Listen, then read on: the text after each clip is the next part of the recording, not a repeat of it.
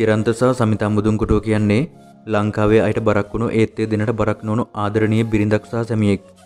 ගොඩක් දෙනා මේ දවස්වල සමිතර සහ චිරන්තට එක පිටක දෙහි කපනවා. ඒකට හේතුව චිරන්ත පියෙක් වුණු සමිතා මුදුන්කොටුව මවක් වෙන්න ඉන්න නිසා වගේම වයස් සීමාවේ අසීමිත නොගැලපීම නිසා. ඒ වගේම ගොඩක් දෙනා සමිතා මුදුන්කොටුව මහත්මියට කොච්චර දක්ෂ කලාකාරිනියක් වුණත් ඇයට බනින්න වේශබඩුව කියලා. වේශ කෙනගේ තේරුම තමයි වෛශ්‍යාව කියන්නේ. වෛශ්‍යාව කියන්නේ හැම කෙනෙක් එක්කම කාමකව හැසිරෙන කාන්තාව කියන එකනේ. ඒත් සමිතා එහෙම නෑ කියලා චිරන්ත ඔප්පු කළ ඉවරයි. ඉතින් මේ දේවල් චිරන්තය ඉවසලා ඉවසලා බැරිම තැන බනින මඩ ගන්න හැමෝටම දුන්නේ කන පැලෙන උත්තරයක්. ඔබත් දුක් ගන්න අරල channel එකට ආගන්තුකයෙක් නම් YouTube channel එක subscribe කරන්න අමතක කරන්න එපා. මම ගොඩක් සමිතා වෙන මගේ බිරිඳට වඩා බාලයි. ඒත් එක්ක මට ප්‍රශ්නයක් නැත්නම් කවුරුත් එක්ක ප්‍රශ්නයක් කරගන්න එපා. ගොඩක් දෙනා මට බනින්නේ සමිතා මුදුන්කොටුව අතුල අධිකාරියෙක්ව විවාහ වෙනකොට ඉපදිලාවත් නැහැ කියලා. ඒක ඇත්ත. ඒක ඇත්ත වුණාට ඒක අපේ ආදරයට ප්‍රශ්නයක් වෙලා නැහැ.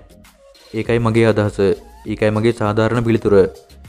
ඒ වගේම මම පියෙක් වෙනෙක් ගැන සමිතා වෙන මගේ බිරිඳ මවක් කෙනෙක් ගැන අපිට වඩා අමාරුව තියෙන බලන් ඉන්න අයට.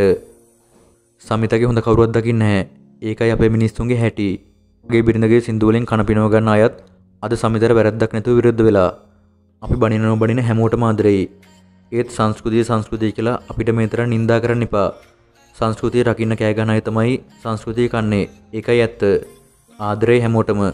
මෙන්න මේ විදිහට තමයි චිරන්ත බිරිඳට වුණ අපහාසය ගැන සංවේදීව කතා කළේ. චිරන්ත ජනතාවගෙන් වේදනාව මුසුණු ආදරෙන් ඉල්ලපු ඒ ඉල්ලීම ගැන ඔබට මොකද හිතෙන්නේ? පහලින් කමෙන්ට් කරන්න.